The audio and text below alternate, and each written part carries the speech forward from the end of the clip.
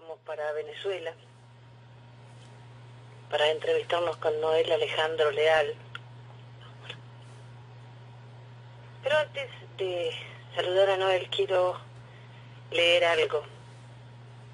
El diputado más votado de la historia de Brasil, Eduardo Bolsonaro, de filosofía libertaria e hijo del presidente electo de Brasil, Jair Bolsonaro, declaró que la MUD de Venezuela es una falsa oposición y les acusó de haber postergado la salida de Maduro. Bolsonaro afirmó, no me sorprendería que estuviera todo arreglado, pues la MUD es una falsa oposición.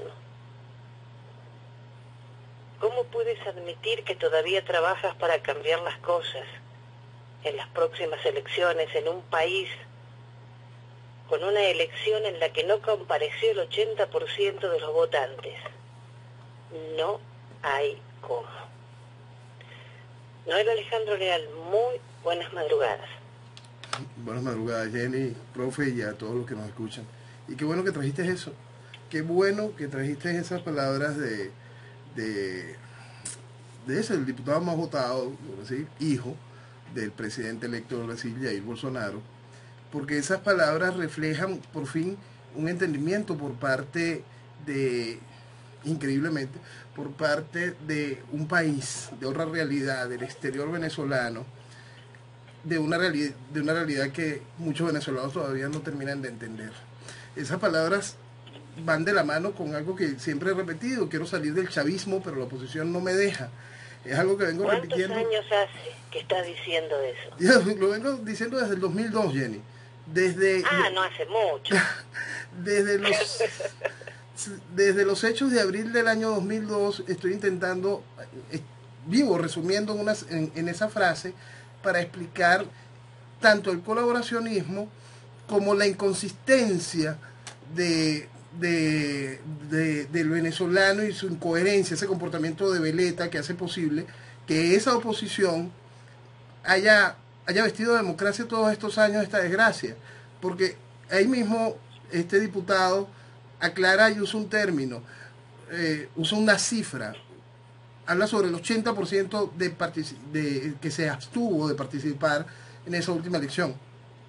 En el año 2005, Jenny, 2005, este país se manifestó de la misma forma este país se abstuvo de participar electoralmente, rechazó el sistema de, plano en una elección para la Asamblea Nacional, para el Congreso. Lo hizo de plano, lo hizo de manera consciente eh, y, consistente, muy dura. Este, el país fue el que obligó a los partidos políticos a llamar a la abstención porque nadie iba a participar, los partidos simplemente se montaron en una ola. Y después el país no siguió con su voz firme y le entregó de nuevo a esa estructura política su voz y su representación, que lo primero que hizo fue negociar y dar como legítima aquella elección con un 80% de abstención. Entonces, y después le reclamaron al país que aquello había sido un error cuando había sido el éxito más contundente que habíamos tenido como nación en, una demostración dentro del marco de la democracia una demostración tan contundente como eran las marchas multitudinarias que llevaron al, final a la, a la, caída momentánea de Chávez en el año 2002. Entonces, lo que logra exponer allí Bolsonaro es, es, una realidad que en Venezuela aún no se termina de entender y que por primera vez se está entendiendo en el mundo. En el caso de Brasil, en mucho gracias al, al esfuerzo de los jóvenes de Rumbo Libertad que han marcado un mensaje muy claro en el entorno de Bolsonaro un mensaje donde está muy bien identificado dónde está el principal sostén del régimen, que no es otro que esa oposición. Ojalá que el mensaje sea totalmente claro y que se identifique la MUT y sus filiales, la MUT y el entorno, y a esa oposición, para que esta oposición termine de madurar y enfrentar esa realidad. Porque ese entorno también de la MUT es muy importante señalarlo, porque mañana se salen con un nuevo grupo, un nuevo nombre, la misma idea, el mismo barranco, el mismo matadero electoral, la misma traición. Entonces es importante que se entienda todo, todo ese espacio, tanto los que les brindan a la MUT ese espacio para seguir le brindan las tribunas para seguir mintiéndole al país, para seguir adormeciéndolo, para hacerlo volver a bajar la cabeza o para que se convierta de nuevo en una veleta sin sentido. Y lamentablemente, y esta es una de las cosas que más duele, sobre todo a nuestra carga académica, eh, nuestra cúpula académica, que ha acompañado esta mentira todos estos años. Porque esa es una de las cosas que más nos preocupa. No solo son aquellos del manifiesto de, de Fidel en 1989, no, ¿cómo es posible que todavía a estas alturas la dirigencia académica esté permitiendo que se le burle de esta manera al país y no llame al país a pensar? En el año 2006 ellos acompañaron esa mentira. Ellos, esa oposición que va más allá de la MUD, acompañó aquella mentira tan flagrante como para decir que con 26 millones de habitantes podían haber 16 millones de electores. Es algo absurdo y a eso llamaron a participar y a votar.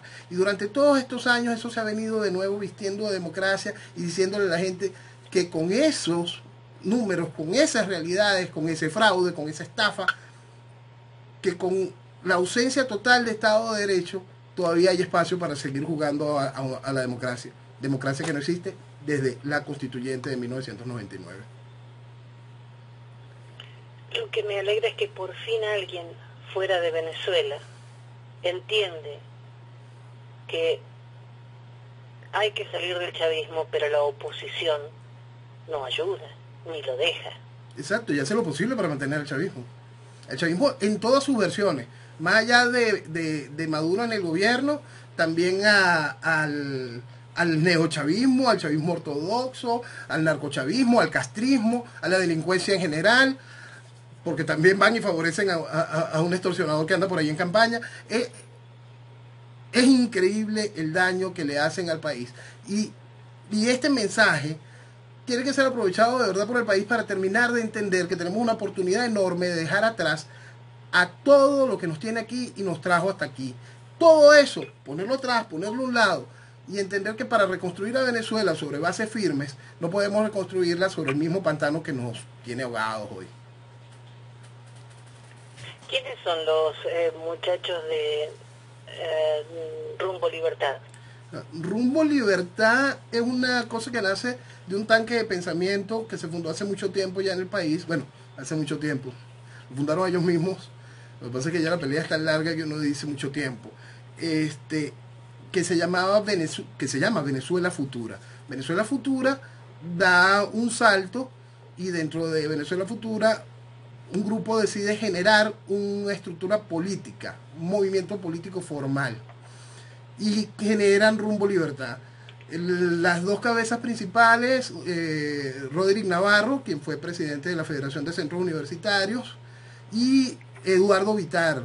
Eduardo Vitar es un joven, fue un líder estudiantil del oriente del país. Este, ambos son, son, son, son hombres jóvenes, son hombres con una visión de país y de lucha política desde hace tiempo en el país, porque en su juventud estuvieron vinculados a, distintos movimientos políticos formales y estuvo en ellos una ansiedad de evolucionar, de entender la verdad, de no querer participar más en la mentira. Fue como un despertar junto con, esta madurez que, te, que, que, mucho se convierte en... Mm, una madurez que refleja una valentía, porque esto, esto, esto sí es importante destacarlo de esta manera, porque es muy difícil, es muy difícil en este país decir, yo suelto el círculo, y más el, círculo político, donde, donde he estado conviviendo, donde tengo, tengo un reconocimiento, tengo un espacio, lo suelto y doy la cara, y doy la cara diciendo, no, hasta aquí, y la idea es algo nuevo. Y ese es el, motor que, nos mueve a ellos, a mi entender, y es una cosa que, los aplaudo, pues en ese sentido. Dentro, de, dentro del país existen para mí dos referentes juveniles interesantes, y juveniles más allá de juveniles, referentes jóvenes del país, referentes con una visión distinta y dos visiones que son fundamentales para el mañana. Están ellos y están los jóvenes de orden donde encontramos también un sentimiento de nacionalismo. Entonces, cuando estamos mezclando nacionalismo y libertad, cuando estamos mezclando ideas de futuro, de desarrollo para Venezuela, es el mensaje correcto en el que el país debe empezar a voltear. Más allá de esas mismas dos agrupaciones, es entender que ese mensaje es el mensaje que va a podernos dar el mañana, y el mañana a través de la realidad de afrontar nuestra verdad para conseguir la libertad. Ahora, eh, Jair Bolsonaro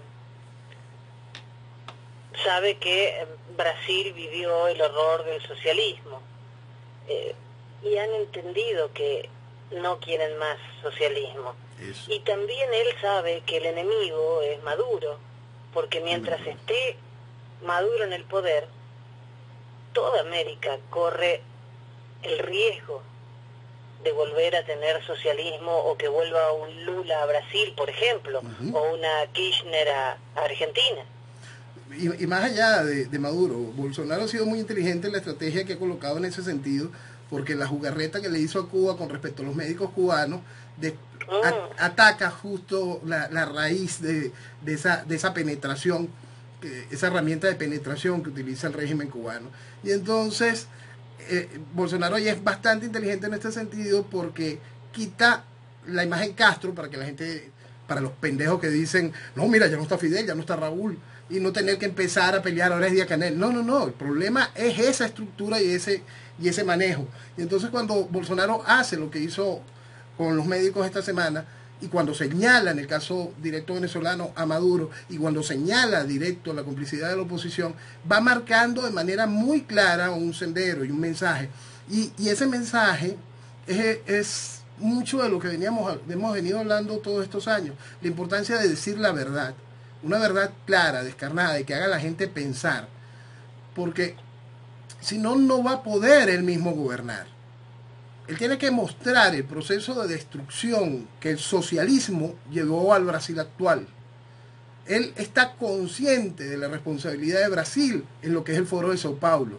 Él está consciente de la responsabilidad de Brasil, Brasil, en el escándalo de Odebrecht. Él está consciente de la destrucción institucional que intentó buscar a todas, a todas vueltas la estructura del Foro de Sao Paulo eh, y por su brazo político en Brasil el, Partido de los Trabajadores, Lula eh, y Dilma y ese entorno. Entonces, ese mensaje claro, ese decir con esa, con esa fuerza, la MUD ha hecho posible que el gobierno se mantenga, que el régimen chavista se mantenga. Eso es lo que nos va a dar la libertad.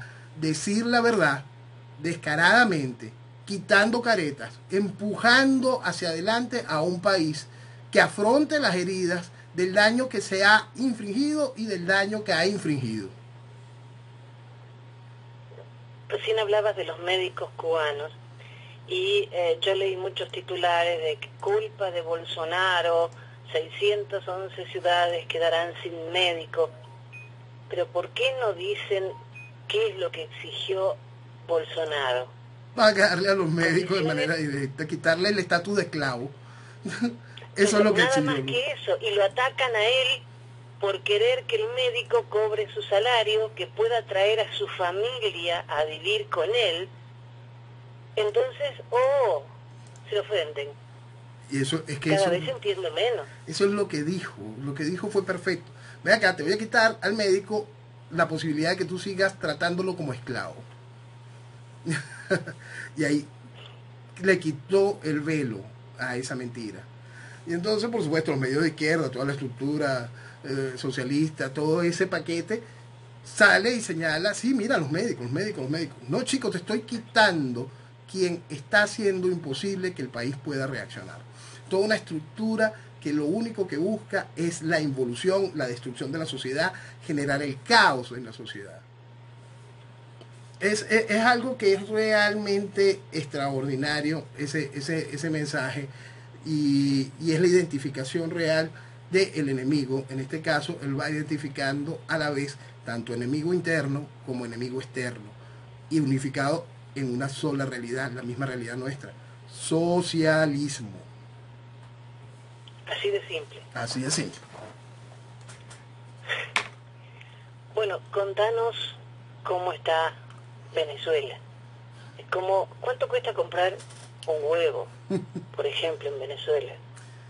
Hoy, precisamente hoy, mmm, envié a, varios de, los contactos que no tienen WhatsApp y cosas de estas, un dibujito donde colocaba que un huevo hoy está costando lo que eran 3 millones de bolívares en la moneda que había cuando Maduro comenzó su ciclo. Pero 3 mil millones de bolívares en la moneda que teníamos cuando Chávez llegó a destruir a nuestro país. Eso, ese es el legado, ese es el gran logro de esa realidad. Cualquier venezolano consciente de con, 30 años que, señor, son 3 mil millones de bolívares lo que está cancelando hoy usted por un huevo de gallina. 3 mil millones de bolívares de una moneda que en 1957 estuvo a la par con el dólar. Entonces ahí vamos a sacar la cuenta completa.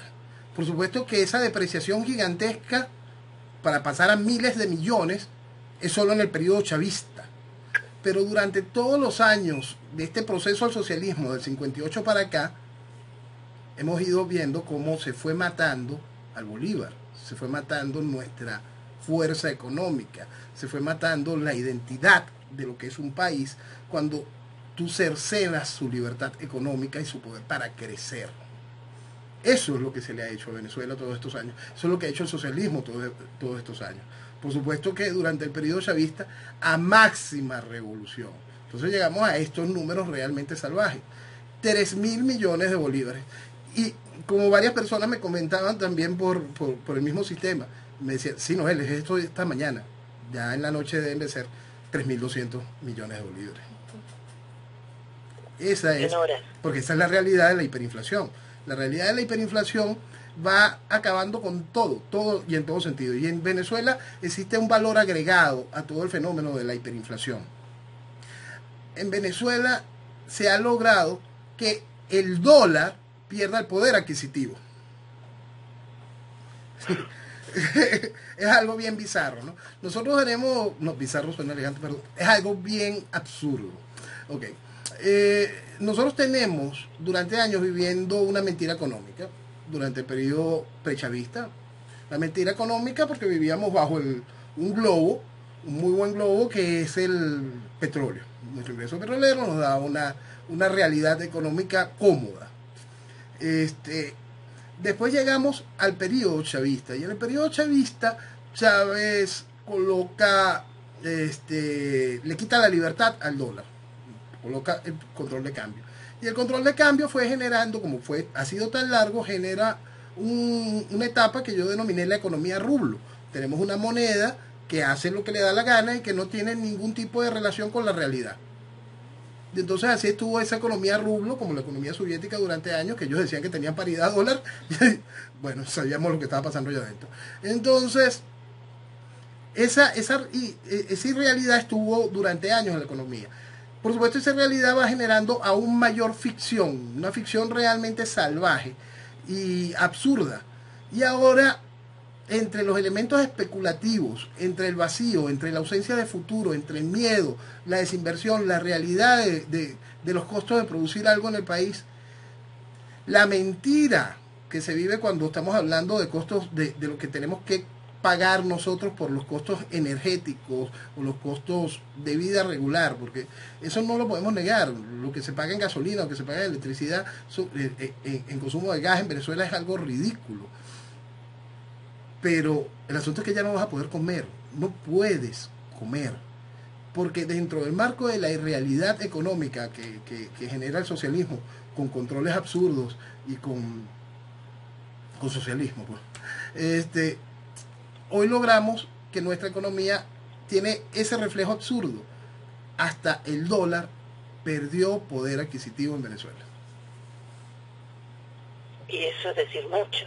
Mucho, porque hasta la, gente que estaba sobreviviendo gracias a las ayudas de sus familiares en el exterior, sobreviviendo e, gracias a eso, gracias a, ahorros que pudieron haber hecho en su momento en moneda dura, ya ni esa posibilidad queda, porque esas ayudas se, también se vuelven sal y agua, salen del agua. La, la, la, asfixia a la que está siendo sometido el venezolano es cruel, eh, eh, es una cosa sanguinaria, es una cosa realmente planificada y una cosa para, para contribuir, es, una de las tantas cuotas, de los tantos frentes de este genocidio que está viviendo Venezuela, este genocidio moderno.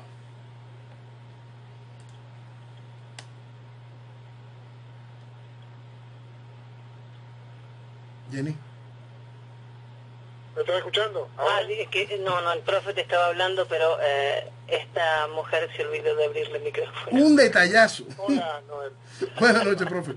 Mira, eh, yo creo que dado como, como las cosas están llegando a un nivel que diría, por decirlo de una manera increíble, no es que ya no es creíble, ustedes están contando como recién lo del asunto del huevo.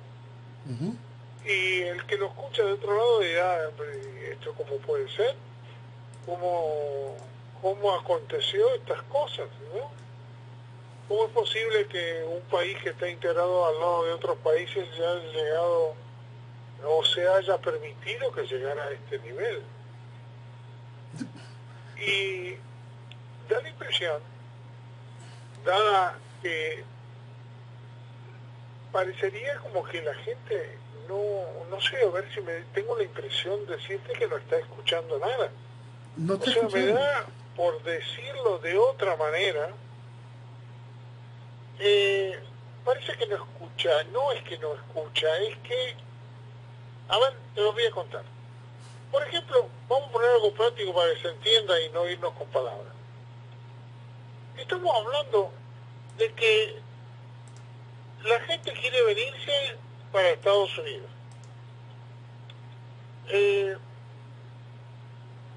muchos están viniendo de toda Latinoamérica para los Estados Unidos. Y tú me dirás, son los mejores que pueden decir las experiencias que pasaron en sus distintos países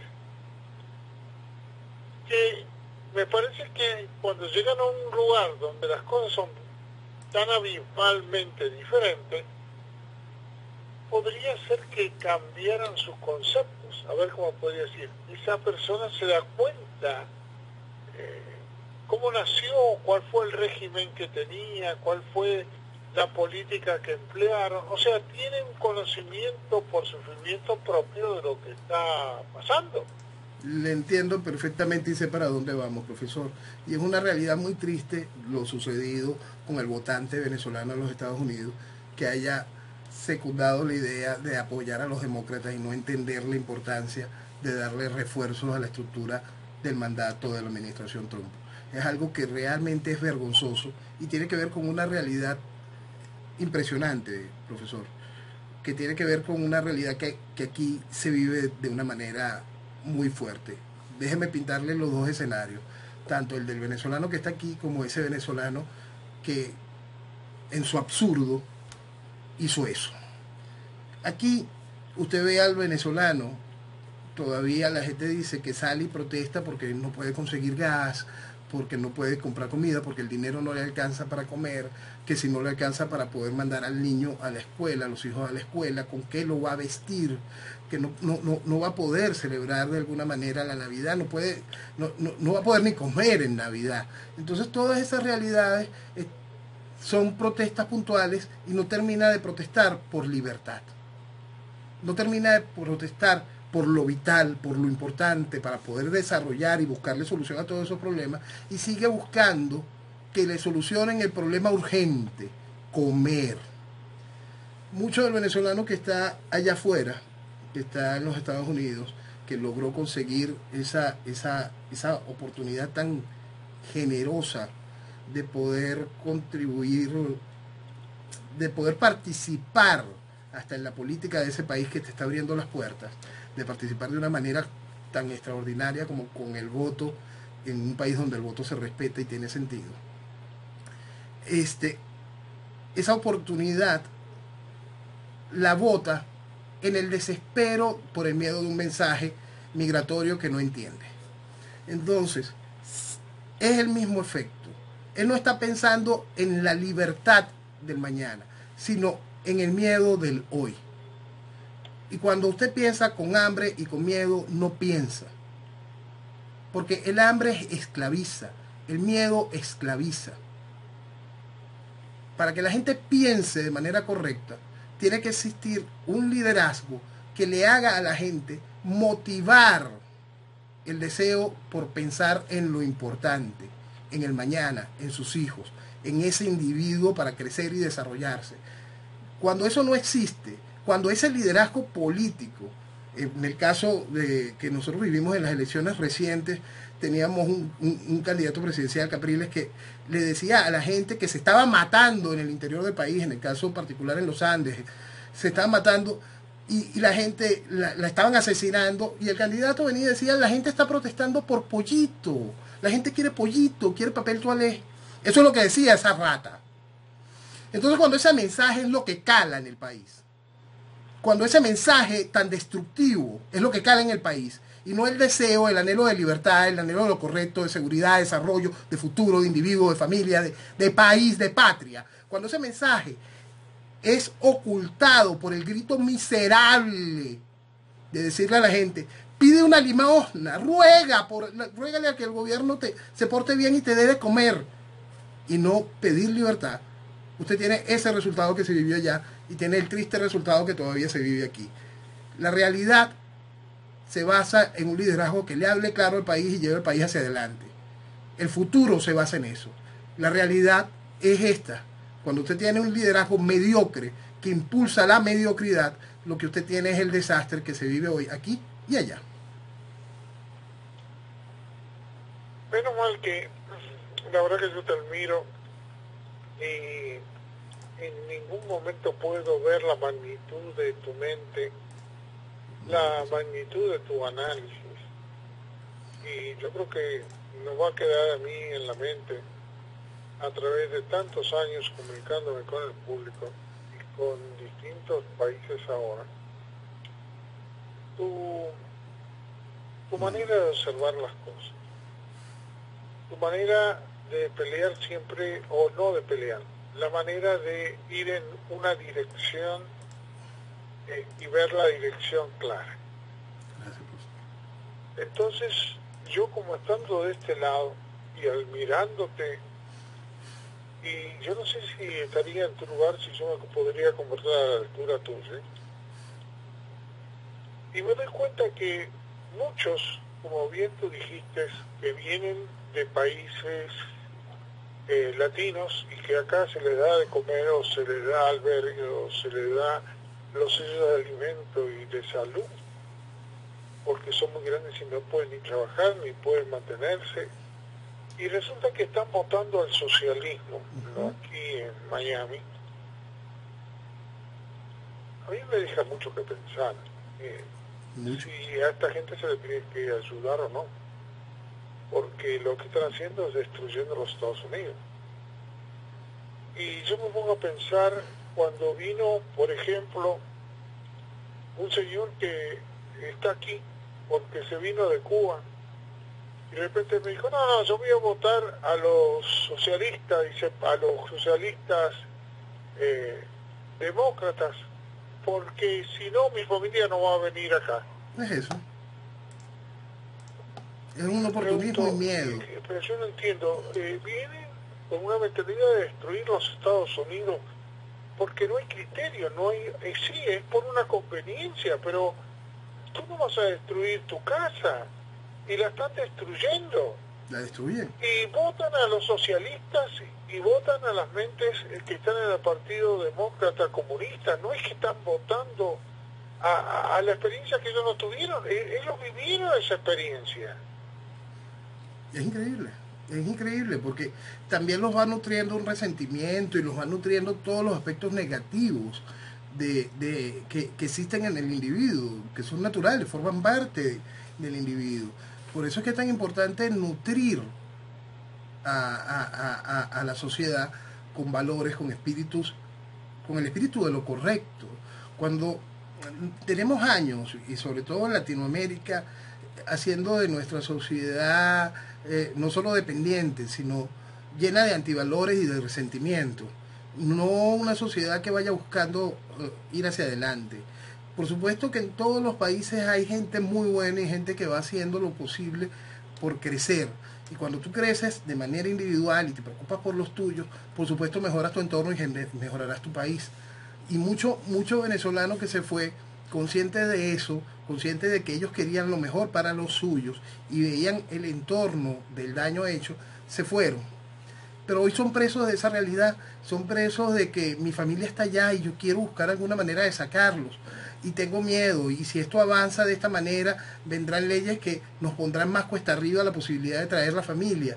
Y no piensan en liberar el país, no piensan en la oportunidad de que hoy existe en la Casa Blanca un hombre que llevó durante, que ha llevado dos veces un discurso realmente fuerte y contundente al escenario de las Naciones Unidas y que sin miedo ha descrito que el problema venezolano es socialismo, que ha puesto todas las opciones en la mesa, incluyendo la militar, que ha invitado a la Fuerza Armada venezolana a hacer lo correcto y salvarse ante la historia y salvar a Venezuela en el, en el proceso. Es decir, ese mensaje no entra, es imposible que entre porque el miedo grita más fuerte y el hambre en los estómagos venezolanos tampoco deja oírlo.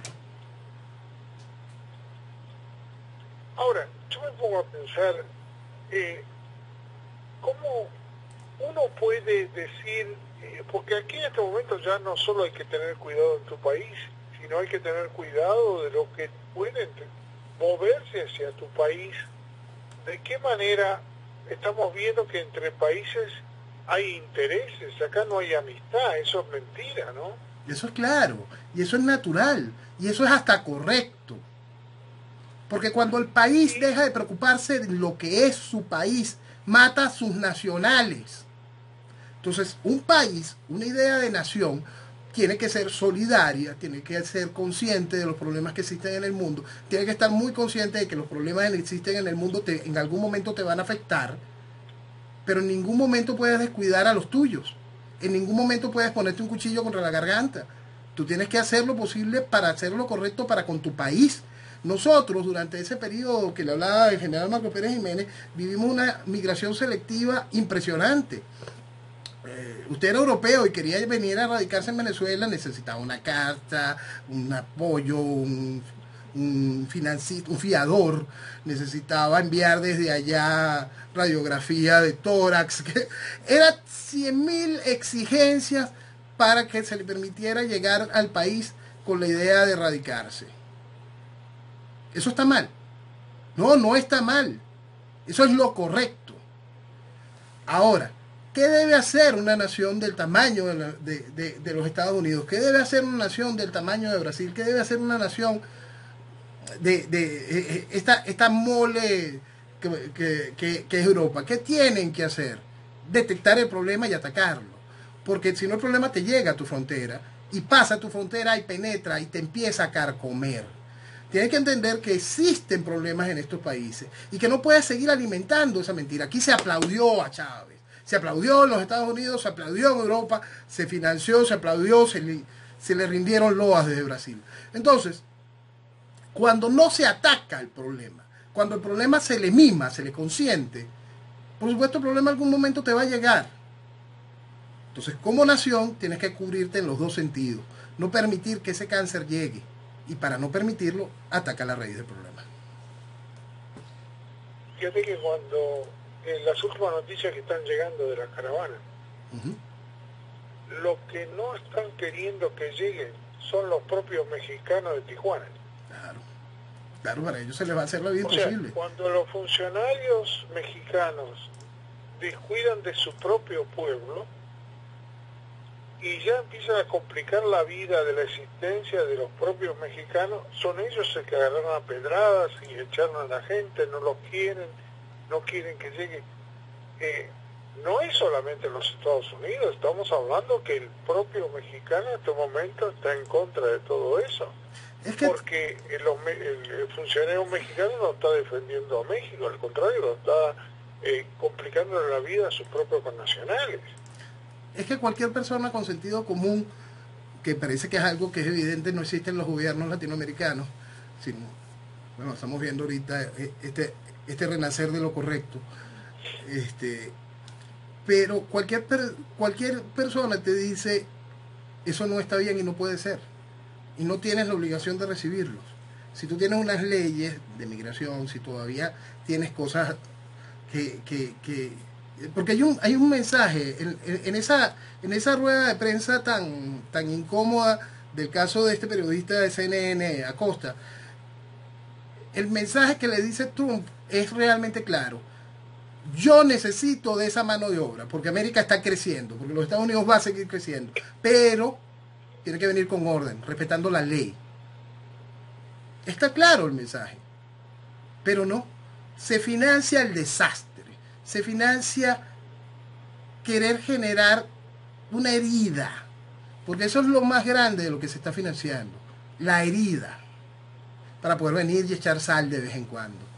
Hasta que no se vean ríos que vayan más allá de las lágrimas, por culpa de esta caravana, la izquierda no va a estar satisfecha, porque esas ansias de sangre, de tener dolor y poderlo mostrar, es eso lo que necesita para poder seguir diciendo su festival de mentiras y seguir generando una herida cada vez más, más y más grande. Yo soy inmigrante, perdón, profe, yo soy inmigrante, pero inmigrante legal.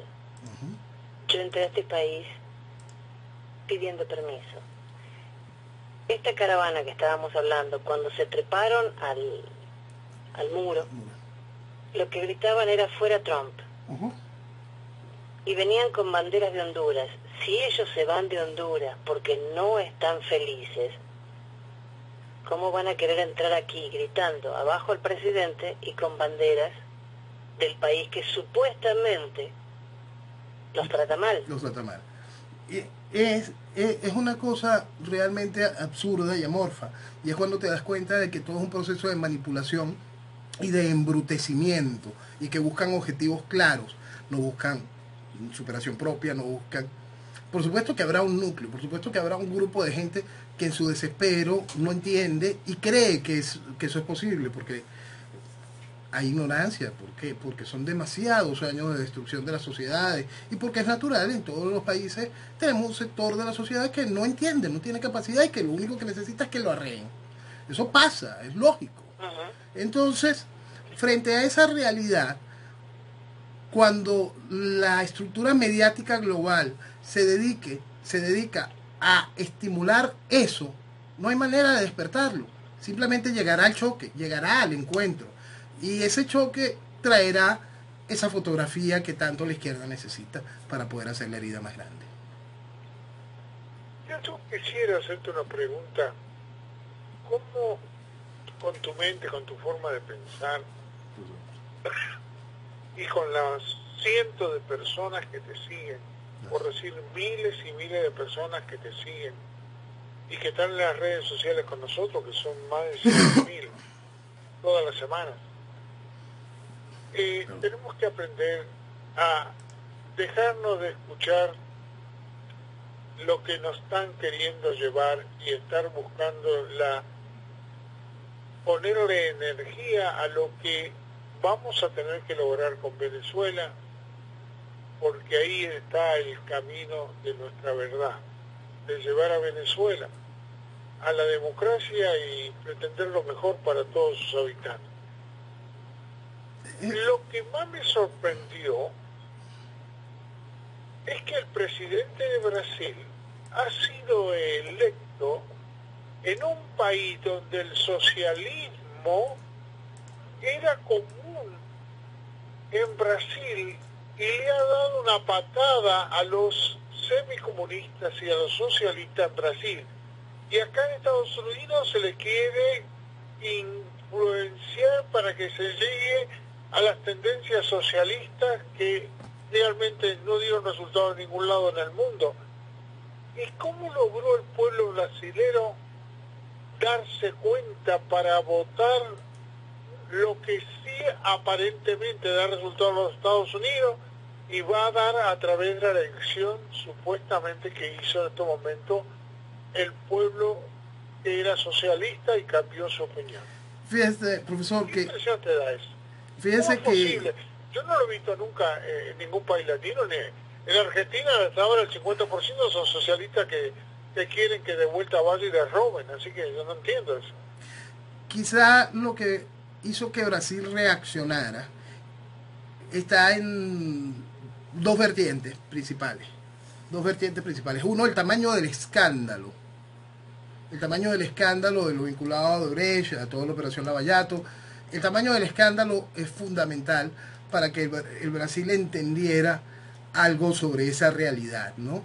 Este, porque el escándalo abarcó toda esa estructura política tradicional y lo que tuvimos fue cómo se desplazó eh, a toda esa estructura, porque no solo el PT sufrió, más bien el PT quedó bien comparado como quedó el partido de, de Fernando Enrique Cardoso, está destruido, el partido de Michel Temer está destruido.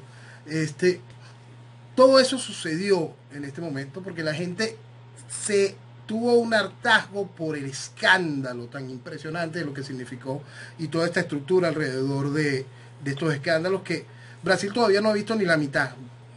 Durante el gobierno de Bolsonaro se va a ir destapando mucho de ese escándalo. Y es importante recordar que frente a la realidad, lo sucedido allí es sencillo comparado cuando se vea la realidad de lo robado en Venezuela. Eso es, mira, eso es lo que había en la, en la alcancía de un niñito comparado con lo que se han robado aquí. Ahora, en Brasil existe una cosa que en Venezuela no existe y que en Argentina tiene lamentablemente su cuestionamiento. En Brasil existe institucionalidad. En Brasil existe una fuerza armada que no aceptó y no se siente humillada por haber impuesto una dictadura en Brasil. La Fuerza Armada que impuso una dictadura, generó el milagro brasilero, dio el espacio para la vuelta a la democracia y ahí está. Y entonces se da el lujo hoy Bolsonaro de tener a un, de ser el mismo capitán del ejército retirado y tener un general como vicepresidente, un general retirado como vicepresidente.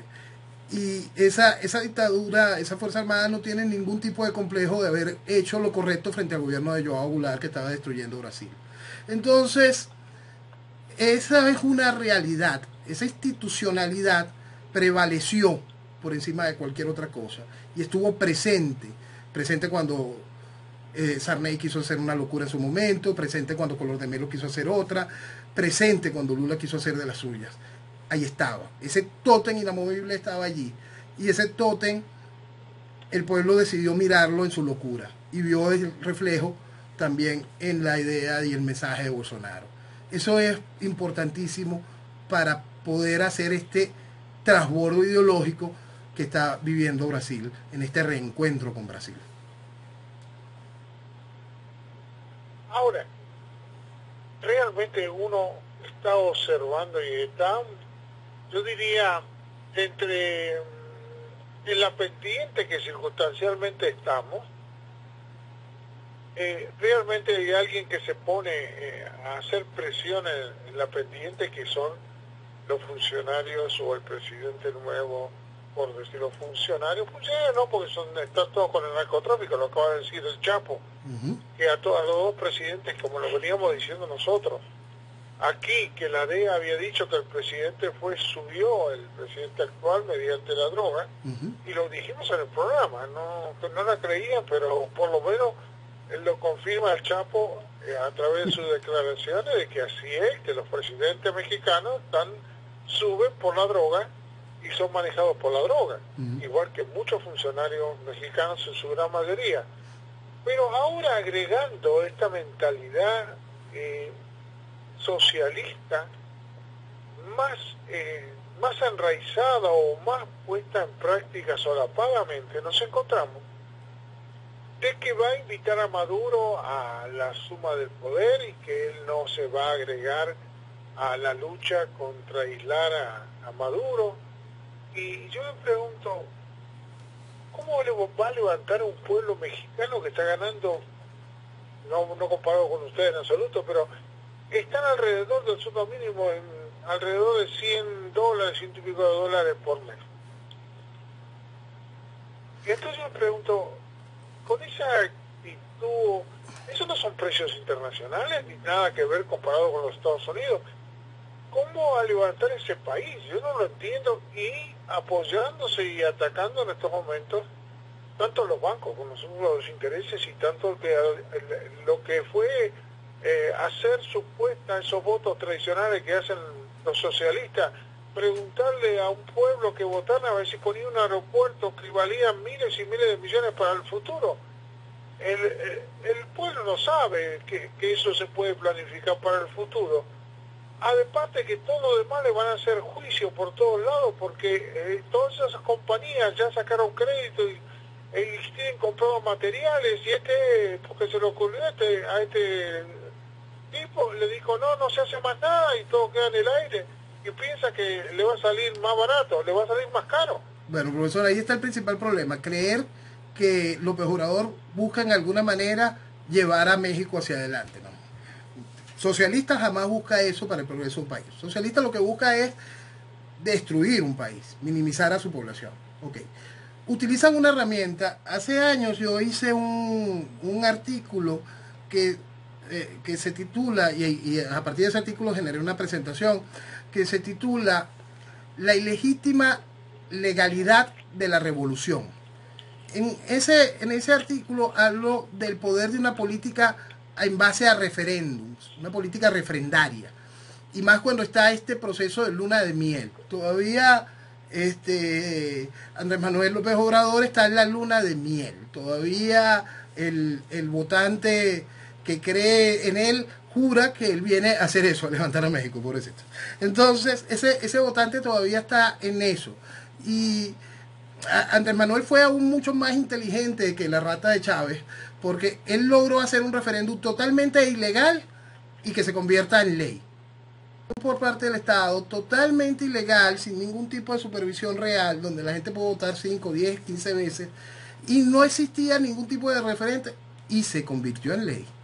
Por supuesto que va siendo... Fuera de, todavía no asumió. Y no ha asumido, por eso es algo realmente impresionante lo que está haciendo. Entonces, su proceso de destrucción va generando también eh, esa otra parte de donde usted estaba colocando, la deuda que va a generar esa decisión tan absurda. Nosotros, en Venezuela, nosotros vivimos con un gobierno legítimo y dentro de un proceso, dentro del proceso pseudodemocrático que vivíamos en aquel entonces, vivimos durante el primer gobierno de Carlos Andrés Pérez lo que fue lo que se llamó como la nacionalización del petróleo, la estatización del petróleo. Nosotros teníamos una serie de acuerdos con multinacionales en el área de petróleo que estaban próximos a vencerse en aquel entonces, faltaban 3, 5 años para vencerse y nosotros recuperar y poder tener todos los beneficios de todo ese know-how más toda esa estructura aquí y hacerla nuestra porque era lo que marcaba el contrato. Este, aparte de que ya la gran mayoría de los gerentes de todas esas compañías multinacionales radicadas en Venezuela eran venezolanos ya todo ese, eh, por eso fue tan fácil ese pase de estas compañías grandes a lo que fue PDVSA y sus filiales.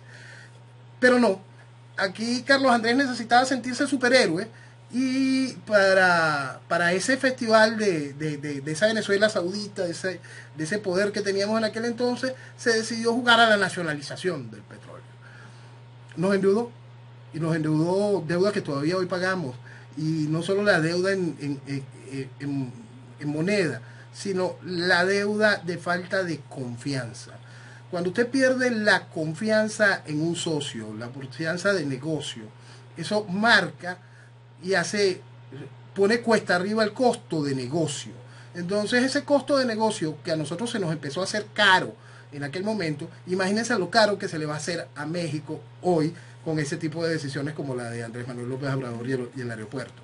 El costo de negocio, cuando se pierde la confianza, cuando no existe respeto por un marco jurídico serio, cuando no existe respeto a la inversión, a la propiedad privada, a un contrato, cuando lo que va a reinar es el socialismo y la discrecionalidad del gobierno, el costo de negocio mata a la población. Bueno, fíjate que más. Hay como 50.000 policías y dicen que la mayoría, o 30.000 o 40.000, que son la mayoría delincuentes porque están conectados con el narcotráfico. Lo acaba de decir el Chapo, y él también diciendo que iba a cambiar toda la fuerza policial. Yo me pregunto, cuando se habla tantas estupideces, para cambiar una fuerza policial en México, por eso digo, el nivel que, debe que tiene este socialista, no tiene la menor idea de lo que está diciendo, porque ellos tienen una escuela solamente para 3.000 policías por año para prepararlos. Y él quiere cambiar los 50.000 delincuentes que tienen ahora con el narcotráfico y están todos infiltrados.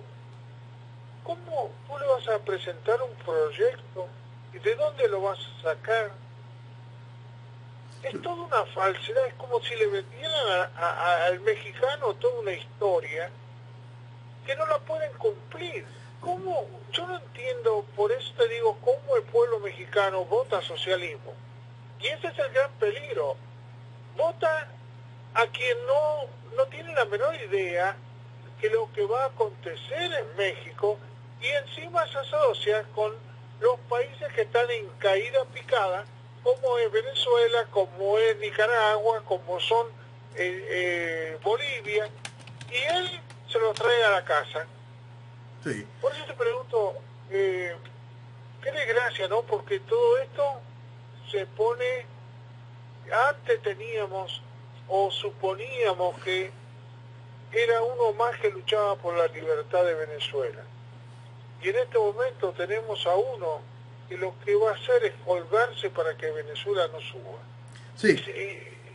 Y, la verdad que en ese aspecto yo lo veo y no sé, me da una sensación de tanta, de haber, de haber nosotros perdido una oportunidad. Déjame que te diga. Claro, profesor, y, y, lo grave es el descaro de lo que va haciendo y que todavía el mexicano no haya terminado de entender hacia dónde se dirige. Lo que está explicando porque hay que leer muy claro ese discurso en el caso de la policía que está ofreciendo López Obrador. Lo que está diciendo López Obrador es, les voy a imponer una milicia que me va a obedecer a mí, más nada. Eso es lo que está diciendo López Obrador. ¿Y qué, estaba, qué, qué hizo Maduro? Eso. ¿Qué hizo Chávez? ¿Qué hizo el chavismo? ¿Qué hizo Chávez? ¿Qué hizo el chavismo? Bueno, es importante siempre recordarlo. Eso es fundamental recordarlo por, debido a, esa lápida asquerosa que nos quieren imponer en, en, el país, que es la idea de que Chávez era bueno y Maduro era malo. No, Maduro está bailando sobre el país que Chávez mató. Maduro baila sobre los muertos que Chávez mató. Maduro cosecha lo que Chávez sembró. Venezuela pasa hambre por ese legado. Venezuela está destruida y ese legado está ayudando a destruir México. Ese legado está generando el caos en España. Ese legado generó todo este proceso de destrucción que hoy uno de los responsables de lo que hizo posible esto, que es el Brasil, quiere dar un paso a ayudar a limpiar y a enderezar. De verdad, yo no tengo palabras como agradecer a, tanto a Trump como a Bolsonaro el mensaje claro, porque es eso, y es, algo que tiene que terminar de entender el venezolano. Escucha el mensaje, no tiene que ser que venga el tipo y te ponga tropas aquí. Entiende el mensaje. Porque si nosotros no hacemos lo correcto, ese mensaje se pierde. Y cuando aquel gobierno cambie, corremos el riesgo de tener un nuevo enemigo.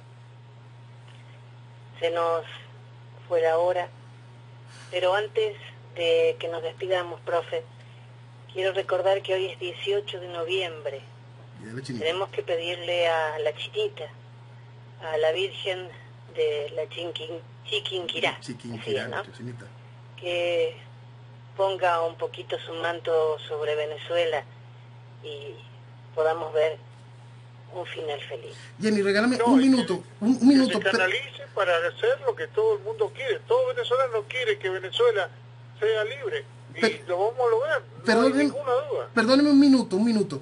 Cuando usted llega a la basílica de, de, de, la Chiquinquirá en el estado Zulia, cuando pasan los primeros nichos y usted voltea hacia los primeros nichos, usted va a ver una cosa que ahorita le va a chocar a muchísima gente que lo comente. Usted va a ver ahí las ofrendas que ponen todos los guardias nacionales, la gran mayoría de los guardias nacionales cuando se gradúan.